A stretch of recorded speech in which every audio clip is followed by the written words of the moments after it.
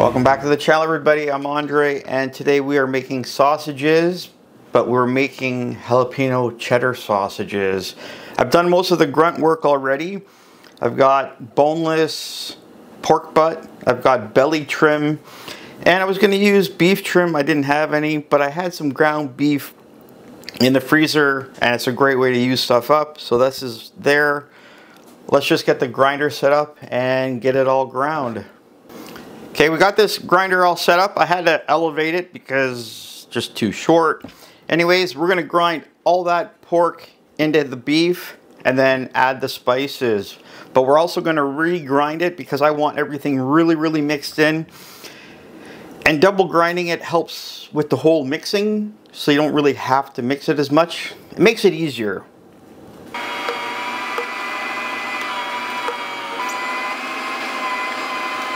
Got all that done and now let's add the spices.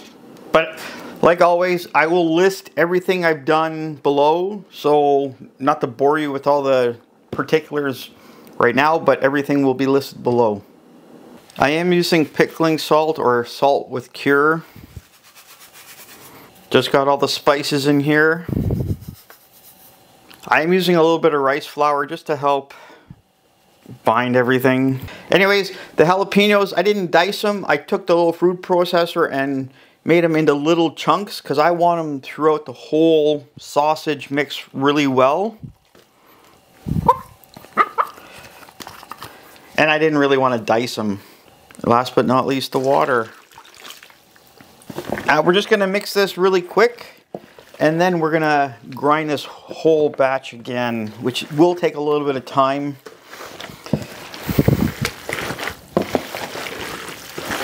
It smells great so far though. There we go. I'm to grind that again.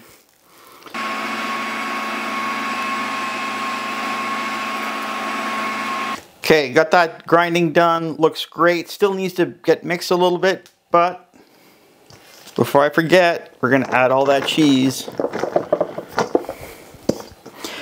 And I'm using a white cheddar I just want to be different and I don't, I'm not a fan of orange cheddar. So here we go.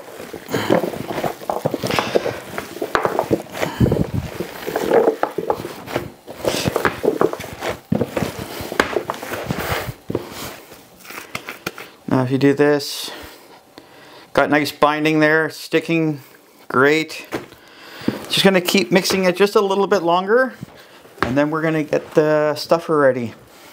The stuffer's all put together. Now we're just gonna fill the, the hopper here. There's no right or wrong way to do it. But what you wanna do is put some in and pack it down. You wanna get out as many air bubbles as possible. There we go. I got some left over there. I'm gonna stuff all this out first and then get to that.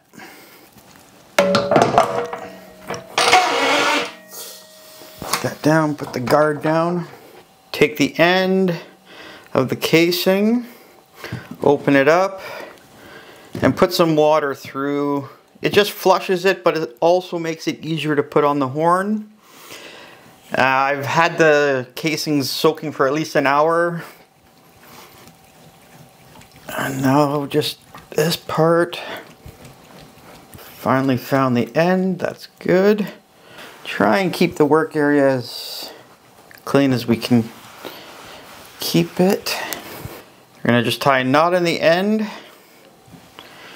And then what you do is you take your one hand and put it around the horn because you want to create some back pressure and stuff the casings fairly tight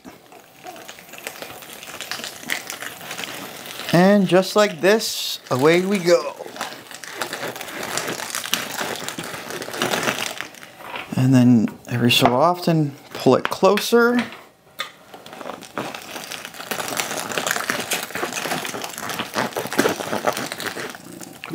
There we go. And just like that, we're done the first strand. I like to stuff it out this way and then twist them. And what I'm going to do pinch there and pinch there. So essentially when you twist, you're creating two.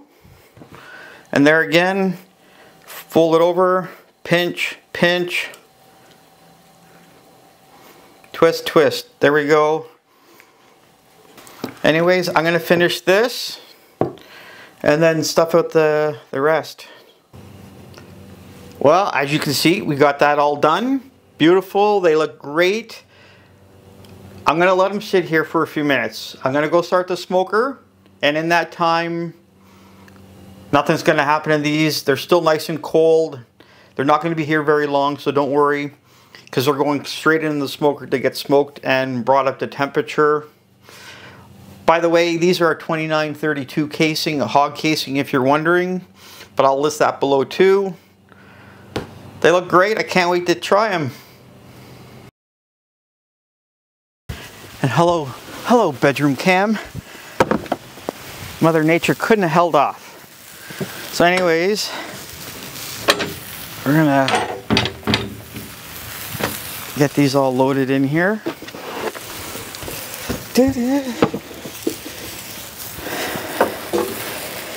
We're gonna space them out a bit so they don't touch. We don't want any bald spots on them. One. And number three. Three sticks of beautiful sausages.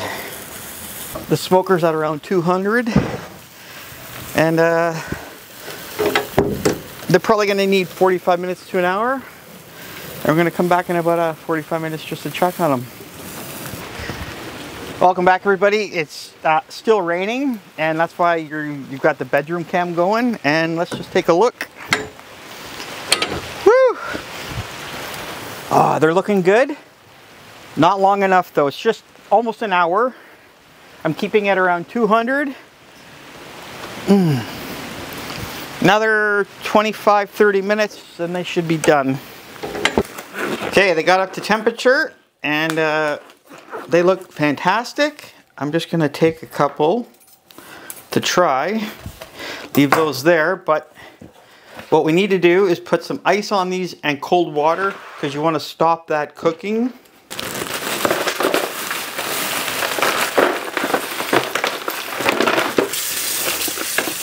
And we're just gonna fill this up now.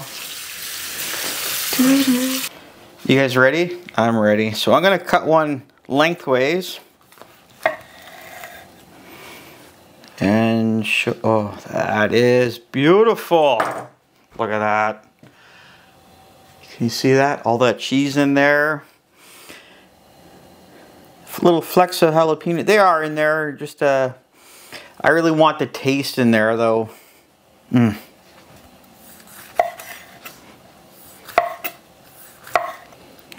and with cheese. That tastes great. That is fantastic. That cheese, I'd never used this cheese before, but it's uh, nice and melty. Tastes really good in here. It's got a nice spice to it. It's not hot. I didn't make it hot. I probably should have, but I want it that 80% of the people will eat it, not the 20%, because to make it hot is easy. To make it taste good or great takes skill, and I think I've done it here. Got great color. Can't stop eating it. Looks fantastic. Probably the only thing I would do because I took half the seeds out of the half of the jalapenos. I probably leave all the seeds in just to give it that little extra bite. Which wouldn't even be that much. But tastes great though. This is a winner. I love it. Looks good, smells good. They have great color on them. I'm over the moon with these. These are awesome. Well guys, this is a winner. Uh, I'm very happy with how this one turned out. Like I said before, all the ingredients and everything, I'll list them below exactly what I did for this batch. Feel free to try it, play with it, you know, let me know. And I'm gonna go stuff my face now. Not on camera. Thanks for watching. Show some support. Hit that like and subscribe. And like always, leave me some comments. Uh, I have a lot more flavors I'm going to be playing with this, this summer with sausages. So just hang on for those. Again, thanks for watching and happy eating.